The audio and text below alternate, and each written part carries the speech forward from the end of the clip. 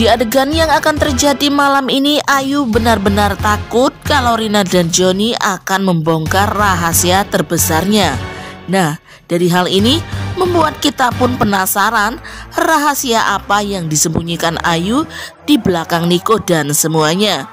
Apakah ini ada kaitannya dengan kejadian-kejadian yang telah menimpa Starla selama ini? Karena di episode sebelumnya, Niko telah mengancam Ayu bila ia melakukan tindakan kriminal yang berusaha mencelakai Starla. Kali ini ia sendiri yang akan menjebloskan Ayu ke dalam penjara.